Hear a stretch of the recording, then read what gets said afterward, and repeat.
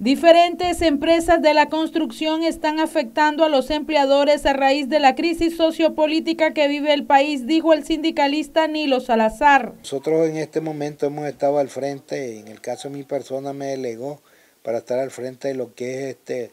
eh, asesorar y, eh, y, ver los problemas que están atravesando los trabajadores que están laborando en el proyecto de construcción hospital, el nuevo hospital de Chinandega.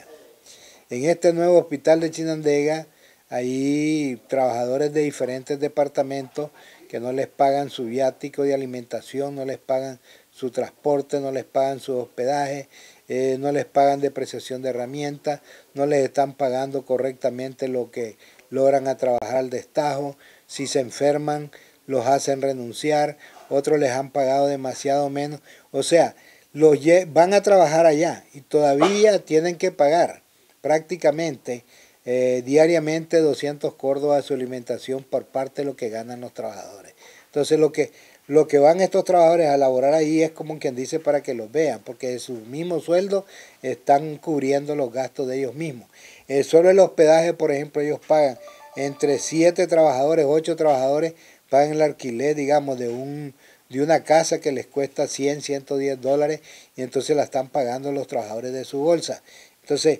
y, y las autoridades del Ministerio del Trabajo que han llegado a ver este caso frente a la huelga que se dio de tres días, porque a mí me llamaron un día viernes ya estaban en huelga los trabajadores y me fui a asumir responsabilidad y a dar la cara, como dicen, pero las autoridades del Ministerio del Trabajo eh, han tenido una posición negativa frente a nosotros como organización sindical. Las empresas también pues también negativa. Sin embargo, hay que estar claro que 600 trabajadores de ese proyecto a estas alturas, la mayoría prácticamente firmó un documento en respaldo de nuestra organización de cerca de 500 firmas de todos los trabajadores que están ahí. Yo pues, necesito